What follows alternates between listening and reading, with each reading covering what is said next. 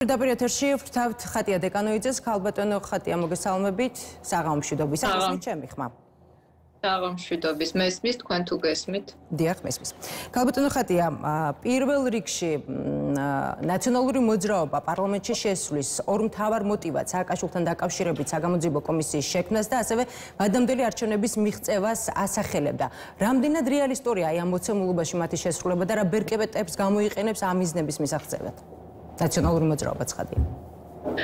აა, რა თქმა უნდა, ეს იყო რეალურად ერთ-ერთი მნიშვნელოვანი და პრინციპული მიზეზი, იმიტომ რომ სახელმწიფო ინსპექტორის სამსახურის გაუქმების შემდეგ და ჩვენ ყველამ ვიხილეთ ვინ დანიშნა უმრავლესობამ სახელმწიფო ინსპექტორის სამსახურის ამ ორგანაყოფში ეს საგამოძიებო კუთხით და პერსონალური მონაცემების დაცვის კუთხით სამწუხაროდ ადამიანები რომელსაც რომელთაც არ აქვს ნდობა ამიტომ შესაბამისად არც ერთი სახელმწიფო ინსტიტუტი ჩვენ არ გვაქვს იმისთვის რომ რეალურად დადგინდეს სიმართლე და სიმართლე უნდა დადგინდეს იმიტომ რომ საქმე ეხება საქართველოს მესამე პრეზიდენტს მიუხედავად მის მიმართ ან ჩვენს მიმართ ან ზოგადად პოლიტიკური დამოკიდებულებების და სიმპათიების მიმართ აქ საქმეა ეს მხოლოდ არ არის ნაციონალური მოძრაობის გამოწვევა ეს არის ქვეყნის გამოწვევა იმიტომ რომ დამერწმუნეთ ძალიან ძიმია როდესაც საქართველოს ექს-პრეზიდენტი მესამე პრეზიდენტი არის ციხეში და სრულიად უსამართლოდ მაშინ როდესაც მთელი ცივილიზებული სამყარო ეხლა ებრძვის ასე ვთქვათ პუტინს და უკრაინაში ძალიან ძიმე ვითარება. რაც შეეხება მანამდე ჩვენი საპარლამენტო საქმიანობის აქტივიზაცია რომ ეს მე გულისხმობ აი ზაფხულში გახსოვთ ალბათ ჩვენ გავაგრძელეთ უბრალოდ ბოიკოტი ყველაზე ბოლოს შევწყვიტეთ. ეს იყო ის პოლიტიკური ვითარება რომელიც დადგა საქართველოში იმიტომ რომ თვითონ ჩვენთანაც დაწერილი ქონდა მანდატებზე განცხადება გაუქმების შესახებ. სამწუხაროდ ეს არ დაკმაყოფილდა 6 თვის განმავლობაში. შემდეგ უკვე იყო მედიაცია. მედიაციის შემდეგ შალმიშერის დოკუმენტი რომელსაც ჩვენ მართალია გვიან მაგრამ მოვაწერეთ ხელი. და ასევე რეალობა იყო ის რომ საპარლამენტო საქმიანობა მანდატების თავისი სრული გალონა ხატი ამ გადასახედიდან ამ გადასახედიდან მაინტერესებს თქვენი პოზიცია როგორია? ვერ გათვალა ოპოზიციამ და შეცდა როდესაც ბოიკოტის რეჟიმზე გადავიდა ასევე ერთ დავაზუსტებთ ეს იყო საკონსტიტუციო ცვლილებები რომელსაც ჩვენ კვლავ ველოდებით და ეს საკონსტიტუციო ცვლილებები უნდა მიიღოს უმრავლესობამ ისეთი ფორმით როგორი ფორმითაც ეს იყო პირველი მოსმენით და ეს არის ძალიან მნიშვნელოვანი. რაც შეეხება გათვლა არ გათვლას მე ვფიქრობ რომ სიების შახსნაც ასევე მაინტერესებს თქვენი პოზიცია როგორია? სიების შახსნასთან დაკავშირებით იყო თუ არა ეს შეცდომა მე ვიყევი ხა თანმიმდევრობა, ზოგადად პოლიტიკური ვითარება იყო მაშინ ისეთი, როდესაც ჩვენ ერთიანი პოზიცია ჰქონდა სრულიად ოპოზიციას, შემდეგ პოლიტიკური ვითარება იყო მედიაციის შემდეგ ისეთი, როდესაც საპარლამენტო საქმიანობა გააგრძელა პოლიტიკური ოპოზიციის ნაწილმა, ამიტომ რა თქმა უნდა, ცალკე ბოიკოტი ნაციონალური მოძრაობის მე მაგალითად ყოველთვის მიმაჩნდა, რომ არ იყო საკმარისი და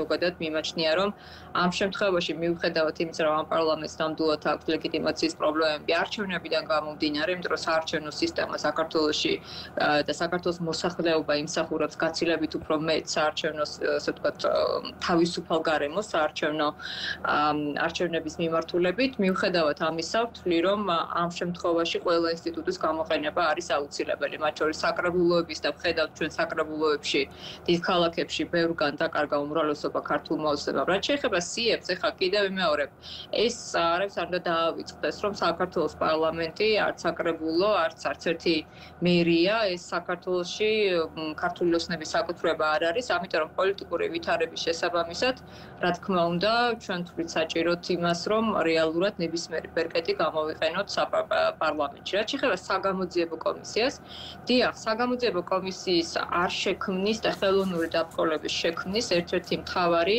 ესე ვთქვათ, შედეგი იყო ის, რომ ბადრი ჯაფარიძეს ჩამოერთვა მანდატი, მათ შორის შალონა გაშვილი და რომელსაც ჩვენ წინააღმდეგ წავედით და იცით ჩვენი პოზიცია მათ შორის ბატონ შალვაზე ნუ ელენესთან განსხვავებული ვითარება იყო.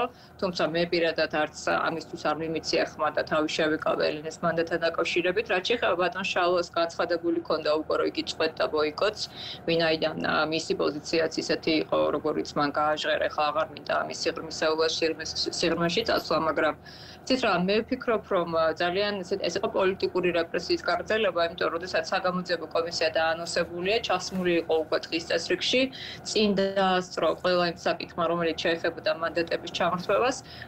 შესაბამისად მე ის განვიხილე და ჩვენ განვიხილეთ და საზოგადოების დიდმა ნაწილმა დარწმუნებული ვარ ზუსტად იმ დაბრკოლებად ხელოვნურით რომელიც შექმნა ქართულმა ოცნებამ. მას არ სურს ძლიერი ოპოზიცია პარლამენტში, გასაგებია ეს იყო შიში და ზოგადად ძალიან ცუდია, როდესაც ბოიკოტზე საუბრობთ, ქალბატონო ხატია თავის დროზე ბოიკოტის შეწყვეტის გადაწყვეტილებას კრიტიკოსები ფაქტია რომ ხავდა როგორც თქვენს მომხრეებში, ესე პარტიის წევრებშიც, ხომ? ხომ არ შეიძლება ისევ დაუბრუნდეთ აი ამ ბოიკოტის რეჟიმს? რამდენად არის ეს მოსალოდნელი?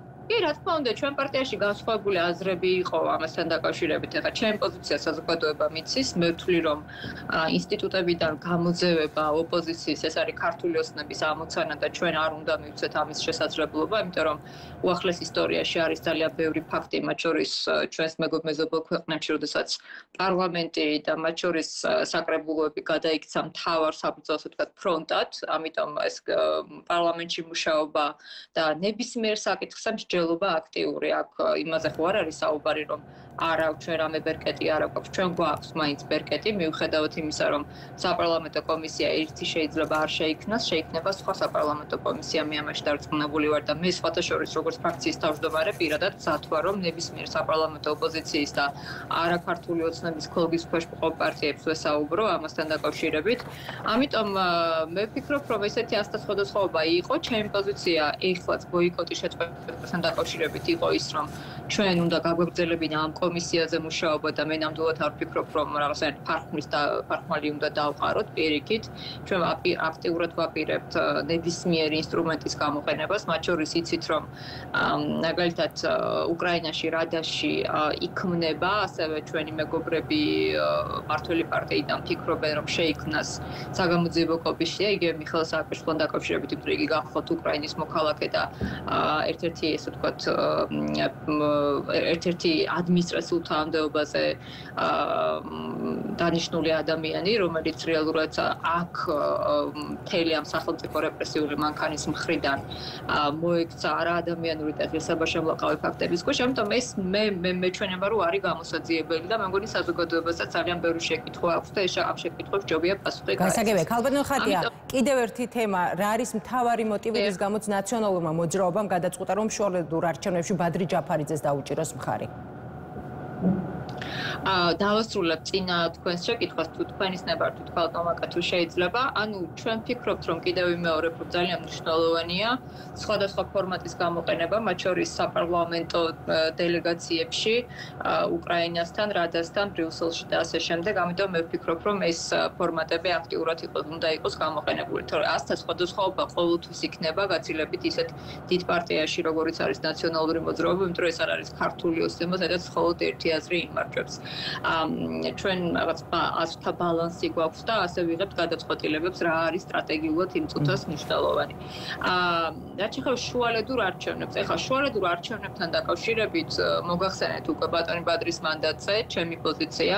გულსხმელად გეტყვით რომ ეს ძალიან დიდი უსამართლობა იყო ნამდვილად, იმიტომ რომ ბატონი ბადრი ერთ-ერთი ესე ვთქვათ გამრჩეული დეპუტატია, მათ შორის იყო და ნამდვილად ეს ქართული ოსნების პოლიტიკური რეპრესია ეს გადაწყვეტილება სამწუხაროა რომ ეს გადაწყვეტილება მიიღეს მათ და კოლეგა დატოვეს პარლამენტს მიღმა ამიტომ მისი ეს გაბედული ნაბიჯი დასაფასებელი ახლა შუალედური არჩევნები რთულია ყოველთვის, როდესაც იგი ეხება მხოლოდ ოლქს, მაგალითად როგორც ეს არის რუსეთში.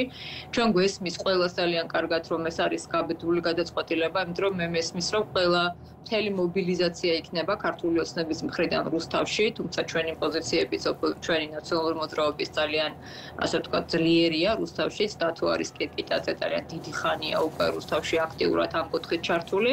ამიტომ დასაფასებელია ეს ნაბიჯი თქვენ რა ჩვენ რა თქმა უნდა არ ვაყენებთ კანდიდატს და ამ შემთხვევაში ყველაფერს გავაკეთებთ იმისთვის რომ ეს იყოს ღირსეული ბრძოლა ბატონო. აი სწორედ ამიტომ მინდა რომ მკითხოთ ერთის მხრივ ფაქტია ცდილობს დისტანცირებას ნაციონალური მოძრაობისგან ქართული ოცნებისთვის კი შუალედურ არჩევნებში ბადრი ჯაფარიძისთვის თქვენი მხარდაჭერა დამატებითი არგუმენტია რომ ლელო თქვენი პარტიის ნაწილია. რუსთავში სადაც ბოლო არჩევნებზე ნაციონალურ მოძრაობას საკმაოდ მაღალი შედეგი ჰქონდა და მეორე ტურში მიიღო მონაწილეობა. ხო რამდენად ფიქრობთ რომ ასეთივე მაღალი მხარდაჭერა ექნება ლელოს წარმომადგენელს?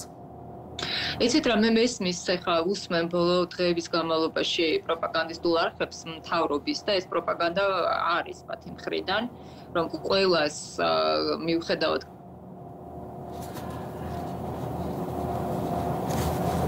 განსხვავებული იდენტობისა, რაღაცნაირად ეს საერთო ფერხულში გაიყვანონ ეს წარმოუდგენელი განცხადებები იყო ბატონი კობახიძის ხრიდანაც ასევე.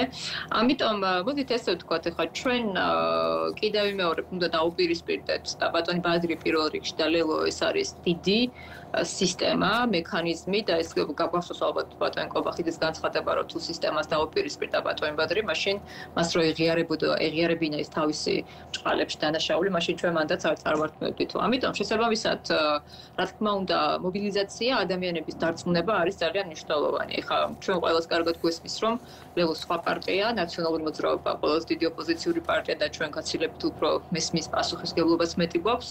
იქ დროა სხვა პარტია, გირჩი სხვა პარტია, მაგრამ ამ შემთხვევაში ჩვენ გადავწყვეტეთ, რომ კანდიდატი არ დაგვეყენებინა და რა თქმა უნდა, ასე ვთქვათ, ხელი შეგვეწყო ამ ღირსეული ბრძოლისთვის ბატონი პატრისთვის. ანუ ეს არ არის ალიანსი, ეს არის ერთჯერადი თანამშრომლობა. იცით რა ჩვენ კოალიციური ალიანსი ქონდა იცით ერთით მართლობის არჩევნებზე და მე მაინც მგონია რომ მომავალი ამ ქვეყნის ეს არის კოალიციური მართლობა მე დარწმუნებული ვარ ამაში იმიტომ რომ ქართველების დაკვეთა ესეთი საქართველოს მოსახლეობის უკაცრავად და მოქალაქეების. ამიტომ შესაბამისად ეს არის ერთჯერადი ამ ეტაპზე შუალედურ არჩევნებს გულისხმობ, იმიტომ რომ აქ ერთმანდატია საუბარი. შესაბამისად, რაც შეეხება თანამშრომლობას პარტიებს შორის, მე ვფიქრობ, რომ ეხ ჩემი მოსაზრებაა ნამდვილად ჩვენ დიდები ვართ, ყველაზე დიდი ოპოზიციური ძალა ვართ, მაგრამ თანასწორობის პრინციპი ძალიან მნიშვნელოვანია პოლიტიკურ ბრძოლაში, კაცი მაშინ, როდესაც მიუხედავად დიდი განსხვავებებისა ჩვენ შორის მე ოპოზიციურ პროტესტალურ ფრონტს გულისხმობ მიუხედავად ამისა ჩვენ თანამშრომლობთ და ესეც უნდა ვისწავლოთ. თუ დემოკრატია და პლურალიზმი გჭირდება და გვინდა და ესეა ნამდვილად მაშინ ძალთა ბალანსი უნდა არსებობდეს და ერთმანეთის ას უნდა პატივცემდეთ არ არის აუცილებელი მე ლელოს იდეოლოგიას ვიზიარებდი ან ლელო ვიზიარებს ჩემ პოლიტიკურ პლატფორმას ამ პირიქით. ამიტომ თანამშრომლობა გაცილებით უფრო სხვა აა რაღაც ისე ჭრილში უნდა განვიხილოთ და ეს არის დიდი და ფართო სურათი. მე დარწმუნებული ვარ, ამ თანამშრომლობას ოპოზიციამ უნდა მიაღწიოს. გაისაგებია, ქალბატონ ხატი აუცილებლად უნდა გკითხოთ საკონსტიტუციო საკონსტიტუციო ცვლილებებთან დაკავშირებით. აპირებთ თუ არა ვთქვათ ოპოზიცია ამ საკითხის წამოწევას და საბოლოო ოპოზიციის შეჯერებას, მას შემდეგ რაც მართველი პარტიის თავმჯდომარე მარგამორიცხა რომ საკითხის განხილვამ შესაძლოა 2023 წლამდე გადაიწიოს. იცით რა ჩვენ ქონდა ერთხელ შეხვედრა.